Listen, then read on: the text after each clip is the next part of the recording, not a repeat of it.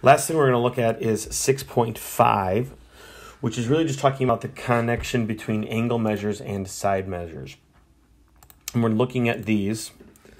The longer side has to be across from the larger angle, and the larger angle is across from the larger side, so and vice versa. So in this triangle right here, 8 is clearly bigger than 5, so the angle opposite of 8, which is angle C, has to be bigger than angle A. So if I look at number one, if I list the angles of the triangle in order from smallest to largest, the biggest, I'm sorry, the smallest side is 11.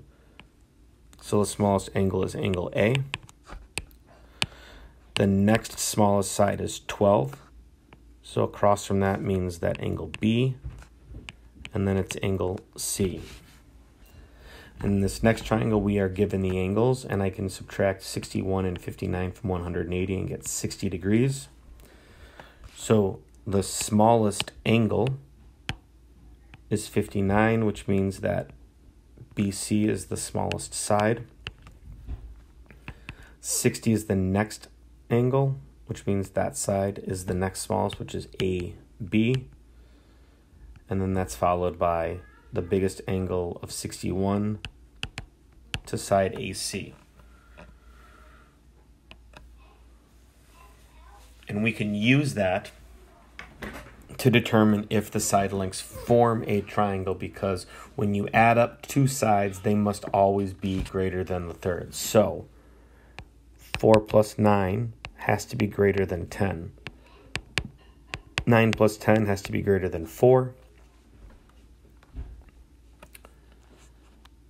And 4 plus 10 has to be greater than 9. Any two sides must be greater than the third, and that checks out for all three of them. So the answer is yes, that would form a triangle. In number 3, 8 plus 9 is not greater than 18 so it is not a triangle. And then in the last uh, example here, a triangle has one side length of 12 inches and another side of 20 inches. Describe the possible lengths of the third side. So it really has side lengths of 12, 20, and x. So using what we just did up above in number 2, that means that x plus 12 has to be greater than 20. It also means that x plus 20 has to be greater than 12. And lastly, that 20 plus 12 has to be greater than x.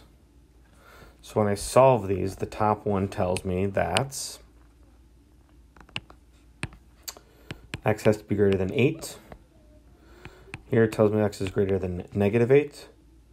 And the last one tells me that 32 is greater than x or x is less than 32.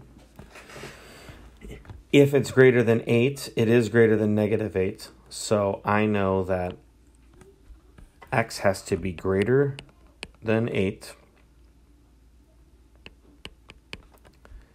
and x has to be less than 32. So we can apply those inequalities to find the side lengths of triangles.